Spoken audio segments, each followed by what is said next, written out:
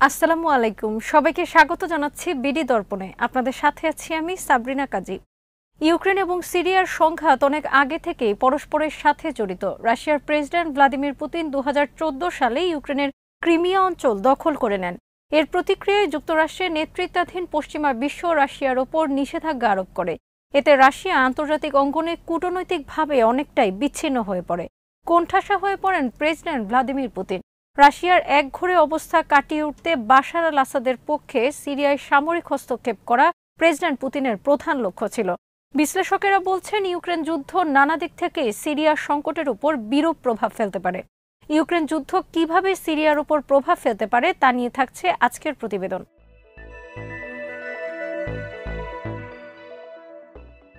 সিরিয়ায় রাশিয়ার সেনা ও ভাড়াটে মিলিশিয়া গ্রুপ প্রেসিডেন্ট বাশার বিরোধীদের দমন করতে নৃশংস হামলা ও ব্যাপক ধ্বংসযজ্ঞ চালিয়েছে। তখন পশ্চিমা বিশ্ব, রাশিয়া ও প্রেসিডেন্ট পুতিনের তৎপরতা প্রতিহত করার কোনো কার্যকর পদক্ষেপ গ্রহণ করেনি। তাদের এই নিষ্ক্রিয়তায় ভ্লাদিমির পুতিনকে আরও উৎসাহী করে তোলে। ইউক্রেনে রাশিয়ার বর্তমান সামরিক আগ্রাসন পশ্চিমাদের সেই নিষ্ক্রিয়তারই ফসল বলে মনে করেন অনেক বিশ্লেষক ও পর্যবেক্ষক।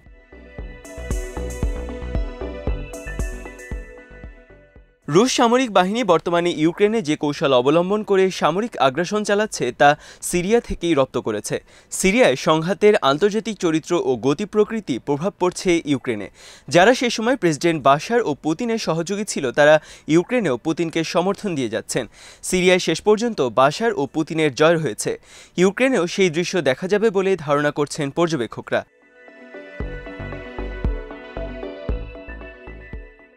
ইউক্রেনের পতন ঠেকাতে পারবে না পশ্চিমা বিশ্ব।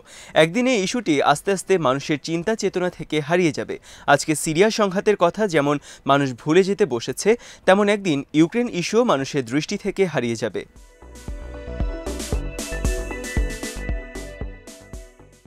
সিরিয়া যুদ্ধ ইউক্রেন সংকটকে প্রভাবিত করেছে, কিন্তু ইউক্রেনের বর্তমান সংকট কীভাবে সিরিয়ার পরিস্থিতিকে প্রভাবিত করবে? সিরিয়ার সংকটের সমাধান যেমন দীর্ঘদিনেও হয়নি, তেমনিভাবে ইউক্রেন সংকটের সমাধানও দ্রুত আশা করে একটি ভুল। ইউক্রেনের সংঘাত দীর্ঘদিন ধরেই আন্তর্জাতিক মিডিয়া ও কূটনীতিতে প্রাধান্য বিস্তার করে থাকবে। কিন্তু তারও একটা শেষ আছে। সময়ের আবর্তে একদিন সবাই ভুলে যেতে শুরু করবে রাশিয়ার ইউক্রেন দখল করার কথা।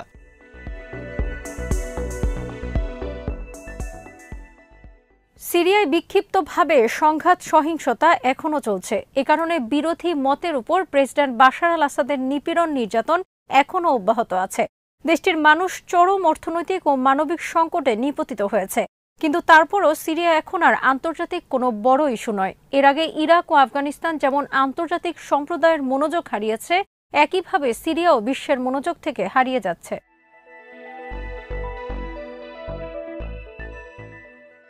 সিরিয়া যুদ্ধ এখন গতকালের বিষয়ে পরিণত হয়েছে। একই ধরনের পরিণতি হতে যাচ্ছে ইয়েমেন ও লিবিয়া সংকট। এই দুটো ইস্যুও এখন আর তেমনভাবে আন্তর্জাতিক সম্প্রদায়ের নজর কাটছে না। এই পরিস্থিতি সিরিয়ার সাতান্ন লাখ নিবন্ধিত শরণার্থীর জন্য কতটা ভয়াবহ, তা কেবল তারাই ভালো জানে। তাদের জন্য আন্তর্জাতিক সম্প্রদায়ের অনুদানের পরিমাণ কমতে শুরু করেছে। ব্রিটেন ইতোমধ্যেই সিরীয় শরণার্থীদের জন্য অনুদান কাটছাট করেছে। কিন্তু মধ্যপ্রাচ্য থেকে অনেক দূরে পূর্ব ইউরোপের দেশ ইউক্রেনের শরণার্থীদের অনেক আগ্রহ ও দরদ নিয়ে স্বাগত জানাচ্ছে ইউরোপের অন্য দেশগুলো। তাদের জন্য অনুদানের অর্থেরও কোনো অভাব হবে না।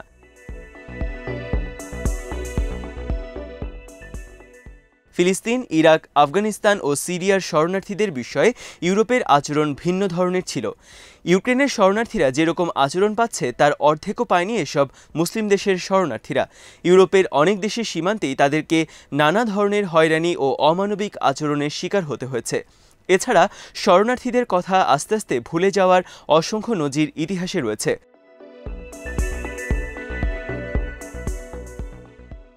কেবল মনোযোগেরই অভাব নয়, সিরিয়া সংঘাতের ভূ রাজনীতিও রাশিয়া ইউক্রেন যুদ্ধের মাধ্যমে প্রভাবিত হবে। যদি ইউক্রেনের সামরিক আগ্রাসনের কারণে প্রেসিডেন্ট ভ্লাদিমির পুতিনের পতন ঘটে, তাহলে সিরিয়ার সংঘাতেও এর বড় ধরনের প্রভাব পড়বে। তখন সিরিয়ায় রাশিয়ার ভূমিকায় বদলে যেতে পারে। দেশটিতে রাশিয়ার উপস্থিতি অনেকটাই কমে যেতে পারে।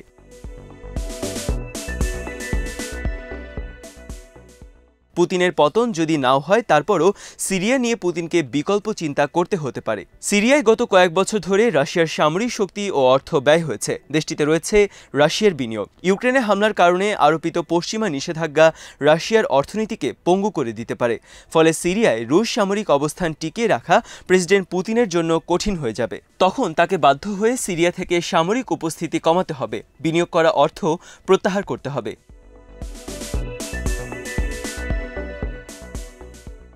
এমন পরিস্থিতির যদি উদ্ভব হয়, তাহলে এর কোনোটাই প্রেসিডেন্ট বাশারের জন্য শুভ ফল বয়ে আনবে না। রাশিয়া, সিরিয়ায় সামরিক উপস্থিতি কমালে ও অর্থ প্রত্যাহার করলে প্রেসিডেন্ট বাশার আল আসাদের অবস্থানও অনেকটাই নড়বড়ে হয়ে যাবে।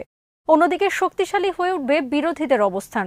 তখন সিরিয়ার পরিস্থিতি আবারও অগ্নিগর্ভ হয়ে উঠতে পারে।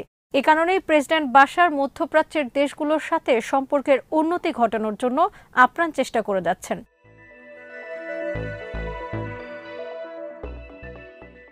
মধ্যপ্রাচ্যের অনেক দেশই বাসার বিরোধী সশস্ত্র আন্দোলনে বিরোধীদেরকে সমর্থন দিয়েছিল। এছাড়া পশ্চিমা বিশ্ব সিরিয়ার উপর নিষেধাজ্ঞা আরোপ করে রেখেছে। রুশ প্রেসিডেন্ট ভ্লাদিমির পুতিনের সাথে ঘনিষ্ঠ সম্পর্কের কারণে প্রেসিডেন্ট বাসারকে হয়তো আরও মূল্য দিতে হতে পারে। রাশিয়ার প্রতিবেশী দেশ বেলারুশের প্রেসিডেন্ট আলেকজান্ডার লুকাশেনকো যেমন পুতিনের কথার বাইরে যেতে পারেন না বাসারের অবস্থাও একই রকম হতে পারে। বাসারকেও হয়তো বিবৃতি দিয়ে কিংবা ইউক্রেনে সেনাদল ও সামরিক সহায়তা পাঠিয়ে পুতিনের পাশে দাঁড়াতে হতে পারে।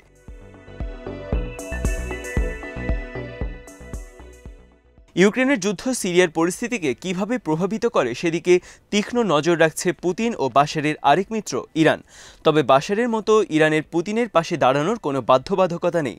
তবে ইরানের নেতারা ইউক্রেন সংকট তৈরির জন্য রাশিয়াকে নয়, বরং যুক্তরাষ্ট্রকে দায়ী করেছে। কিন্তু রাশিয়ার সাথে ইরানের কিছু বিষয়ে মতভেদও আছে।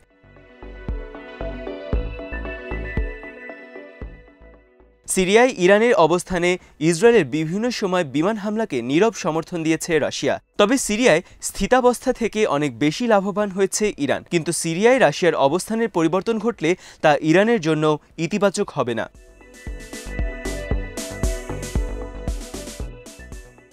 সিরিয়ায় স্থিতাবস্থার সুবিধা পেয়েছে ইসরায়েলও, যদিও যুদ্ধের কারণে সিরিয়ায় ইরানের বিভিন্ন গ্রুপ এবং লেবাননের সামরিক সংগঠন হিজবুল্লার উপস্থিতি ইসরায়েলের জন্য অস্বস্তিকর।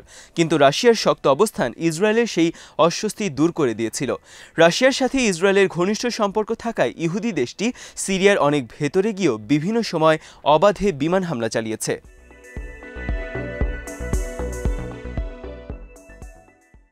ইউক্রেন নিয়ে সংকট তৈরি হবার পর ইসরায়েল এখন ভূমিকা পালনের চেষ্টা করছে। যুক্তরাষ্ট্র, রাশিয়া ও ইউক্রেন এই তিন দেশের সাথে ইসরায়েলের ঘনিষ্ঠ সম্পর্ক রয়েছে।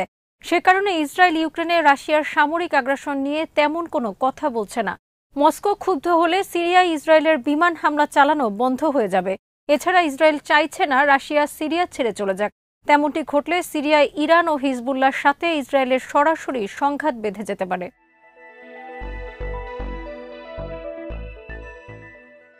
তুরস্ক সতর্কতার সাথে ইউক্রেন যুদ্ধ পর্যবেক্ষণ করছে। রাশিয়া ও ইউক্রেন দুই দেশের সাথেই তুরস্কের সামরিক ও কূটনৈতিক অর্থনৈতিক সম্পর্ক রয়েছে। দার্দানেলস প্রণালীর উপর তুরস্কের নিয়ন্ত্রণ থাকায় পশ্চিমা বিশ্ব, রাশিয়া ও ইউক্রেন সহ সকলেই তুরস্কের সাথে সুসম্পর্ক বজায় রাখার চেষ্টা করছে।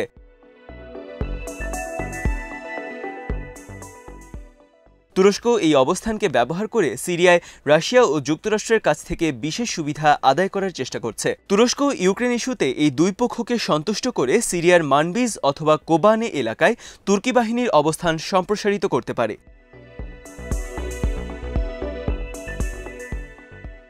এই মুহূর্তে প্রেসিডেন্ট এরদোয়ানের জন্য সবচেয়ে বড় ইস্যু হচ্ছে তার দেশের বিপর্যস্ত অর্থনীতিকে চাঙ্গা করা। একই সঙ্গে তুর্কি জনগণের মধ্যে তার কমে যাওয়া জনপ্রিয়তা পুনরুদ্ধার করা। ইউক্রেন যুদ্ধ, জ্বালানি তেল ও গ্যাসের দাম কোন পর্যায়ে নিয়ে যায় সেটাও একটা দুশ্চিন্তা এরদোয়ানের জন্য।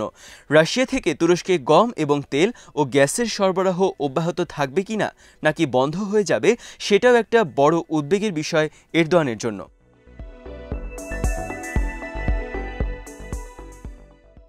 আজ এখানেই শেষ করছি। সবাই ভালো থাকুন, সুস্থ থাকুন আর দেখতে থাকুন বিডি দর্পণ। চ্যানেলটি ভালো লাগলে সাবস্ক্রাইব করুন।